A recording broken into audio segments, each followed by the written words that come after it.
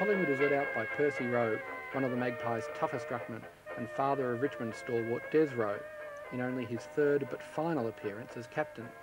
He is followed out by gifted backman Harry Saunders, the subject of a huge controversy in the previous season when he was both suspended by the league and convicted and fined by the courts for flattening Carlton's Alex Duncan.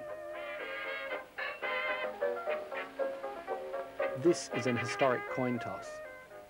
At six foot four, St Kilda's McNamara was a giant for his era.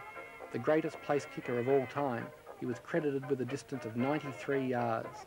Had McNamara played for the Saints in 1913, it was claimed he could have made the difference between winning and losing the grand final.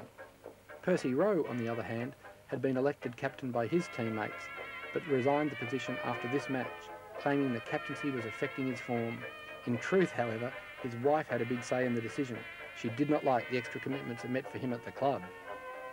Sadly, only this small portion of the match sequence survives. Great sporting competitions,